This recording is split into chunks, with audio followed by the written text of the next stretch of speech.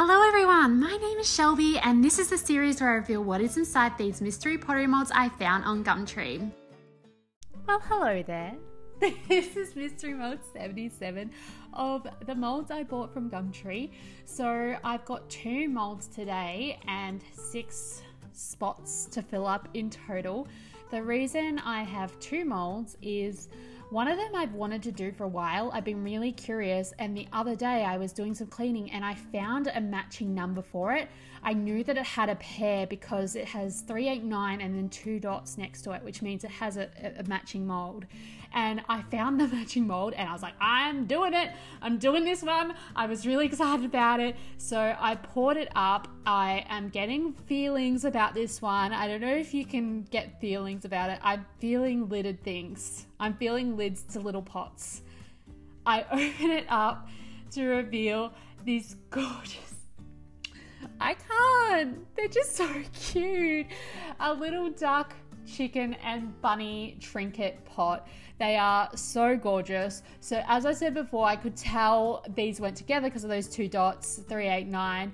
It's a Doc Holliday mold from 1984 and it does have a permanent inscription of animal boxes on it. So, I found the little like doodads, not the tops, the bottoms. And I was like, animal boxes, these are just plain things. What are the animals that go with the box? Um, I don't know, does a box constitute a closed vessel or does it. Or, or is this more of a trinket? I, I call this a trinket dish. Anyway, I was just like, I, I, need to find the animals. What are the animals? I found the 389 and I immediately did it straight away. So here I am trimming up all the excess. Uh, because this was my first pour, I accidentally poured it too thick, but I just trimmed that away. But the rest of the pours were fine. The lids fit really nicely, nice and snug in them. I did notice that they only kind of go one way because they're almost more of an egg shape. Like it's really hard to see here, but one of the edges, one of the ends is a little bit more narrow. Let's talk about what we're painting on them this time. I decided to do a base of a pastel color of yellow, blue, and pink. And I am gonna do some florals. I know everyone gets a bit cross with me when I'm always doing florals, but I like them, okay? I'm gonna do some florals. This time I decided that the florals weren't going to be my typical style. Instead of doing florals that are really precise, making sure that I've got my underglaze on nice and thick so it shows up, making sure all my lines are clear cut, easy to read, uh, really bold shapes. I decide I'm going to do this sort of brush work wherever the paint goes, it goes, and trying not to fix where my brush stroke went too much and just letting them speak for themselves. And the reason I wanted to do that is just to give myself some allowance to not be such a perfectionist with my flower work and also to allow myself to learn more about the underglaze medium. I've learnt so much over the years, but just allowing myself to let it be not one color and let it have some transparency in it in a floral pattern.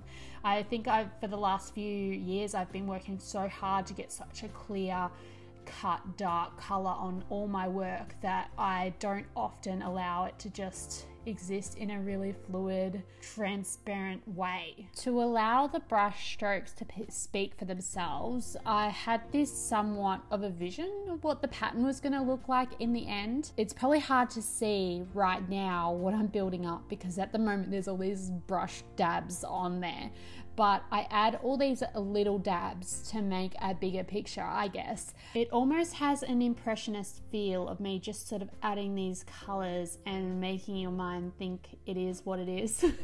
I mean, it's more straight to the point of the of the shape but in reality that's what I'm doing I'm making these blobs and then I'm adding more blobs to make more details on the blobs which I'm, that sounds like a really bad way of explaining Impressionist art. It's actually really beautiful, but that is essentially what I'm doing. And as I was reflecting on this week, I realized that it was also paying a bit of a tribute and a nod to the Japanese style calligraphy pottery painting, which was where big calligraphy paint brushes were used to add these bright pigments of color and florals. And you often see see them in op shops today. It's those ones they always say made in Japan on the bottom. Some also are made in Korea, so I don't know. I have to do my research on the history of all that. But these beautiful brush strokes where it's got this transparency in the brush stroke where it just fades from one color to the next, making this ombre effect. And it's just, oh, it's so stunning. I just love all pottery. I just think it's the best. Anyway, this is what I am, I guess, paying homage to in a way, and also allowing myself to build skills because that's all I'm doing every single week, learning new things, learning new molds. But I must say that this mold, when it comes down to it, is why I do this series. This just makes my heart flutter because it is such a beautiful piece to work with because of the flat surface and beautiful design. It's so tasteful. I love that it has so much potential to use the top parts of the animal, the bottom part. You could do the animals all in gold and then do the bottom a glaze. You could do just the bottom, this cool pattern work. You could do the animals really detailed. Like the potential for this piece just makes me so happy.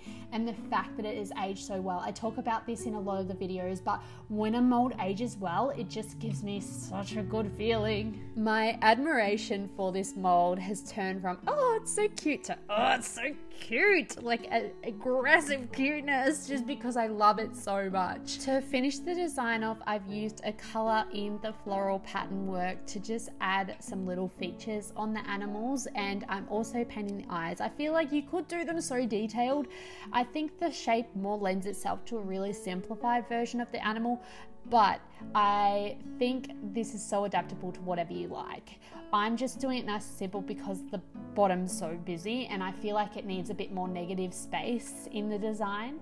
So these ones were actually really tricky to glaze because the lip of the lid sits so far into the dish. It was going to touch and the glaze was going to like melt together and I was actually really worried. So I fire with the lids on now because we discovered through this series that when you fire them together, they actually shrink together. Of course, with firing them together, there is the risk that the glaze could be touching on both the lid and the base, which could cause them to fuse together and remain stuck. So let's hold our fingers crossed and let's go on this journey of figuring out which ones have glued and which ones have not.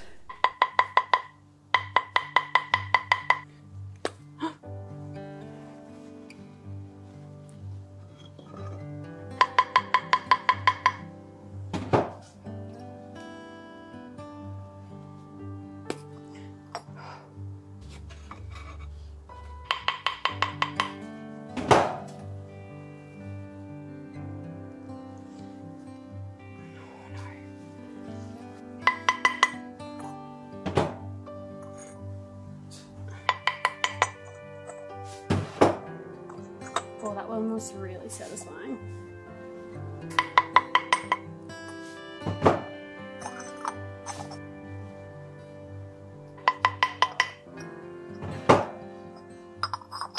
That is always such a scary and big relief overnight. I'm literally praying that nothing sticks together and then to have them all pop off it's just so good. One of them was a little bit tricky there. I don't know if you heard me go oh no my heart was sinking because it took so long to get that lid off. Here are the finished results. I love these so much. I think i am very very much in love with the chicken though especially. I think I have a fond soft spot to a yellow and orange color palette. I do like the blue. I just find that because I didn't add extra layers and I just let the brush strokes be that they were a lot more transparent than I would have liked to see compared to like on the chicken where they were very vibrant and popped so much.